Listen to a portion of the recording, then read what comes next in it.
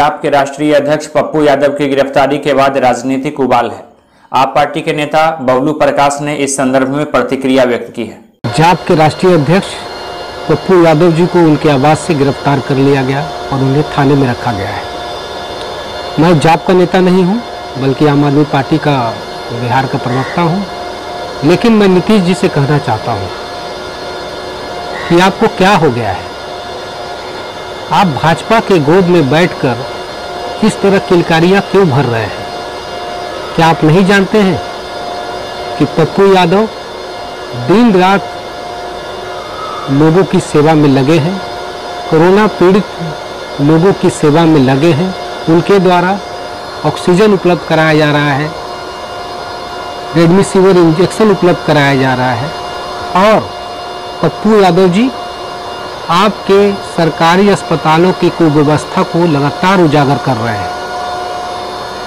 अभी सात मई को उन्होंने छपरा का दौरा किया था और छपरा के सांसद राजीव प्रताप रूड़ी के आवास में उन्होंने 25 से ज़्यादा एंबुलेंस खड़े पाए।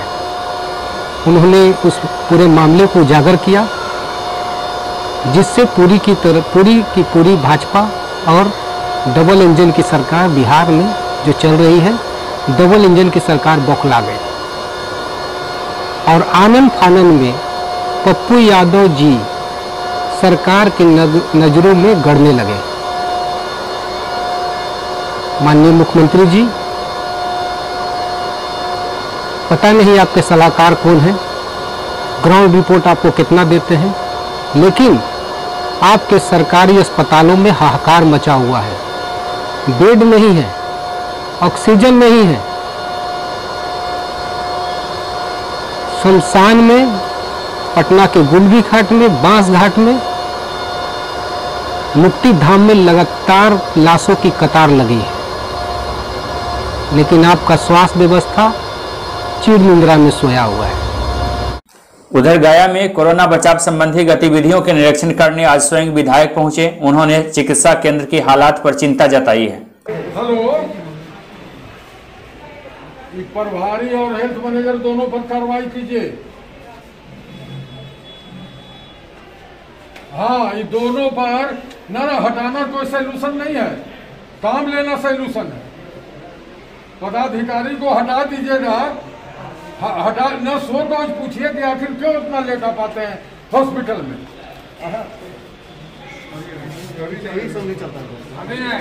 हाँ हम नीचे भेज देते हैं। लेकिन कार्रवाई होना चाहिए इन लोग पर। क्यों इस तरह से न न हम सप्ताह में सप्ताह में एक दिन हम आ रहे हैं। हमेशा हम घूर रहे हैं। कल मानपुर का रिव्यू किया आज यहाँ वो जिरगंज आए हुए हैं। हमारा जान प्यारा नहीं है। एक हज़ार पब्लिक यहाँ पर खड़ी है बताइए ये कौन सा तमाशा इन लोग बना कर रखे हुए हैं? उधर गया के ही एक दूसरे मामले में एक महिला ने न्याय की गुहार लगाई है। उन्होंने संबंधित अधिकारी को आवेदन देकर कार्रवाई की मांग की है। ज़मीन का मामला था। सुबह मेरा भाई आया था पैसा मांगने उससे। उसके साथ कुछ बचक हुआ। उसके बाद शाम में जब हम उधर से आ रहे थे मुझे वो पहचानता था। क्योंकि हम पहले गए थे उसके घर पैसा मांगने। वो सब दस गो बच- लड़कन सब शराब पी रहा था। वो अपने घर से थोड़ा सा पहले। जहाँ पे कचरा फेंका हुआ है थोड़ा सा घर से उसको थोड़ा सा आगे। रेलवे क्वार्टर के थोड़ा सा इधर। वहाँ पे शराब पी रहा था। उसने मुझे देखा। क्या? नहीं, मेरा भाई का उधर डेरा है, वहाँ से आ रहे थे सब। उसने मुझे देखा, जैसे ही देखा, मुझ पे बदसलूकी करने का कोशिश किया। मेरा तो वो चैन था, वो छीन लिया, मेरा कान का छीन लिया। मेरा पर्स में जो थोड़ा बहुत पैसा था वो छीन लिया। क्या लगता है कि ये पहले से टारगेट किए हुए था?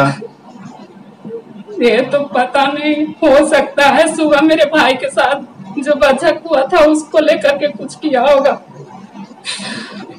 क्योंकि वो जानता है कि सब लोग इधर ही रहते हैं। पूर्व सांसद पप्पू यादव की गिरफ्तारी के मामले को लेकर समस्तीपुर में भी प्रतिक्रिया हुई है। आरजेडी के कार्यकर्ताओं ने प्रतिक्रिया व्यक्त करते हुए कहा है कि यह लोकतंत्र की हत्या है। राष्ट्रीय जनता दल पप्पू यादव की गिरफ्तारी की निंदा करती है। यह सरकार हर मोर्चे पर विफल है। सरकारी अस्पतालों में बेड की कमी है। ऑक्सीजन सिलेंडर का कालाबाजारी हो रहा है, दवा पर काला कालाबाजारी हो रहा है, स्वास्थ्य व्यवस्था बदहाल है।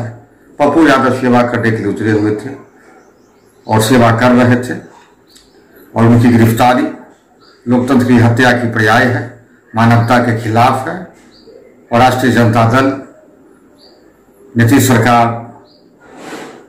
की इस कदम की निंदा करती है, तथा मांग करती है कि पप्पू यादव को रिहा किया जाए। उधर गायघाट विधानसभा क्षेत्र के विभिन्न इलाकों में पीपीटी किट का वितरण किया गया, सैनिटाइजर भी बांटे गए, मास्क भी बांटा गया।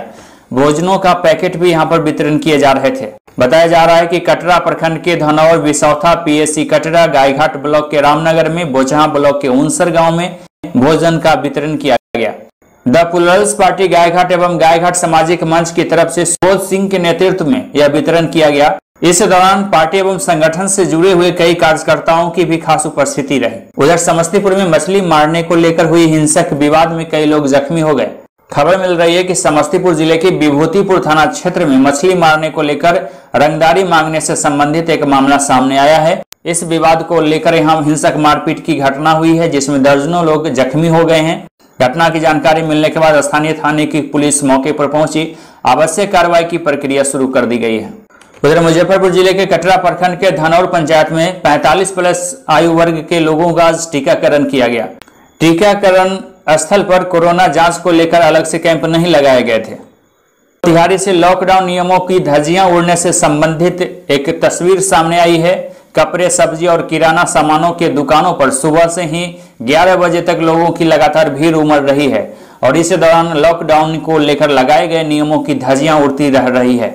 जिला प्रशासन के लाख प्रयास के बावजूद कोरोना महामारी के इस दौर में खुद की जान जोखिम में डालने वाले लोग दूसरे की जान से भी खिलवाड़ कर रहे हैं, जिसके कारण से सुबह छह बजे से 11 बजे के बीच ज़िले के करीब सभी बाजारों में सब्ज़ी, फल, दूध, किराना सामानों एवं कपड़ों की दुकानों में खरीदारी को लेकर भारी संख्या में लोगों की भीड़ उमड़ रही है, जिसके कारण से कोरोना बीमारी संक्रमण के मामले में हर दिन वृद्धि होने की आशंका है। यहाँ लॉकडाउन नियमों की खुलेआम धजियाँ उड़ रही है। जिसे इस वीडियो के माध्यम से स्पष्ट रूप से देखा भी जा सकता है। यह नज़ारा मोतिहारी के प्रमुख थोक मंडी हेनरी बाज़ार एवं मोतिहारी मीना बाज़ार मेन रोड का बताया जा रहा है, जहाँ सुबह सात बजे से ही जाम की स्थिति बनी रह रही है। लॉकडाउन नियमों की यहाँ लगातार धज्जियाँ उड़ रही है। प्रशासनिक अधिकारियों की चुप्पी भी यहाँ अपने आप में एक अहम सवाल खड़ा कर रहा है। अगर लोग खुद से बचाव के लिए जागरूक नहीं हो सकेंगे और अधिकारियों की तत्परता नहीं दिखी तो यहाँ संक्रमण तेज़ी से फैलने की आशंका। है बीमारी के संक्रमण में और तेज़ी से कोई रोक नहीं सकता है। लोगों के बचाव के लिए सरकार ने लॉकडाउन लगाए हैं और यहाँ लोग हैं कि समझने को तैयार नहीं है। गया शहर में आज प्रशासन ने कार्रवाई की है। बॉम्बे बाज़ार मॉल को आज सील कर दिया गया है। बताया जा रहा है कि ढाई घंटे तक पुलिस एवं प्रशासन को मॉल के बाहर इंतज़ार करना पड़ा और एक एक कर सभी ग्राहक निकलते रहे। आवश्यक प्रक्रियाओं के बाद यहाँ मॉल को सील कर दिया गया है। अधिकारी के द्वारा अभी कोविड 19 को देखते हुए विभिन्न तरह के प्रतिबंध करने के आदेश जारी किए गए इस आदेश के तहत है कि किसी भी तरह का कपड़ा या अन्य दुकान नहीं खुलेगा। खुलने वाली दुकानों का लिस्ट जारी है कि इन इन तरह के दुकान खुलेंगे। यह दुकान कपड़े का दुकान है और आदेश नहीं होने के बावजूद इनके द्वारा दुकान खोला गया। दुकान खोलने के बाद अभी आप लोगों के सामने ही व्यक्ति वहाँ से निकले हैं। काफ़ी बड़ी मात्रा में ग्राहक अंदर बंद थे और इनके दुकान के स्टाफ भी अंदर है। सरकार के आदेश के अनुसार जो भी विधि सम्मत कार्रवाई होगी इनके खिलाफ कार्रवाई की जाएगी। कितने संख्या में लोगों में से रहेगा संख्या लगभग सौ तो था ही सौ से ऊपर ही था। कितने घंटे से लोग बंद थे? आप लोग बाहर खड़े थे। ढाई घंटे से तो प्रशासन यहाँ पे खड़ी है। दरवाज़ा खुल नहीं रहा दरवाज़ा खुल नहीं रहा था। दरवाज़ा खुलने के प्रयास करते करते अभी दरवाज़ा इनके द्वारा खोला गया है और आपके सामने इसको अभी सील कर दिया जाएगा। अभी सील कर दिया जाएगा। कौन सी दुकान है सर? किनकी दुकान है? कुछ पता चला है? ये अभी कोई अब जानकारी होगी उसके बाद पता चलेगा किसका दुकान है। दुकान है बॉम्बे बाज़ार है। बंदरा प्रखंड के मतलूपुर पंचायत में भीषण अग्निकांड की घटना सामने आई है। मतलूपुर पंचायत के घोषरम्मा वार्ड संख्या दो में देर रात अग्निकांड की घटना हुई, जिसमें चुलाई पासवान के घर जलकर राख हो गए। करीब 11 बजे की यह घटना बताई जा रही है। पंचायत के मुखिया के प्रतिनिधि अशोक कुमार का बताना है कि शॉर्ट सर्किट की वजह से अग्निकांड की घटना हुई है, जिसमें करीब लाख रुपए से ज़्यादा के नुकसान होने की आशंका है। मामले की जानकारी स्थानीय प्रशासनिक अधिकारियों को दी गई है। मुखिया प्रतिनिधि के द्वारा यहाँ चूरा मीठा आदि का वितरण किया गया है। रात में लोग सोए हुए थे तो मॉर्निंग सुबह सात बजे हमें यहाँ से फ़ोन गया है, जो रात में बिजली को सर्किट से आग लग जाने के कारण इसी में खाना पीना सोते थे। बाकी लोगों का कोई कैसा हताश नहीं है, लेकिन इनका जो लगभग तकरीबन सत्तर पचहत्तर हज़ार के आसपास के नुकसान हुआ है। चुल्हाई पासवान जी हैं। ये वार्ड नंबर दो में हैं। तेजन पासवान जी के घर से सटे हुए हैं। जानकारी मिलने के बाद हम आए। अपने स्तर से जो भी है, सीओ साहब को भी हम फ़ोन के द्वारा सूचना कर रहे हैं। जो तत्काल व्यवस्था है, चूरा मीठा बिस्कुट का हमने व्यवस्था अपने स्तर से किया है। आगे अधिकारी से बात करके इनका जो व्यवस्था बन पाएगा, उसमें सहयोग करेंगे। राजस्थान के नाना थाना पुलिस लॉकडाउन के चलते सतर्क दिख रही है। मुख्य मार्गों पर आज बैरिकेटिंग लगाए गए हैं, जाँच भी किए गए हैं। बिना मास्क के चलने वाले लोगों पर आज कार्रवाई की गई है। उनसे जुर्माने की राशि वसूल की गई है। बाली नाना की पुलिस ने लॉकडाउन के चलते सतर्कता दिखाई है। उधर उपखंड सुमेरपुर के विभिन्न इलाकों में आज जागरूकता का अभियान चलाया गया। लोगों को लॉकडाउन के नियमों के बारे में आगाह किया गया। बताया गया कि लॉकडाउन के नियमों का सख्ती से अनुपालन होना चाहिए ताकि कोरोना संक्रमण के बढ़ते चयन को रोका जा सके।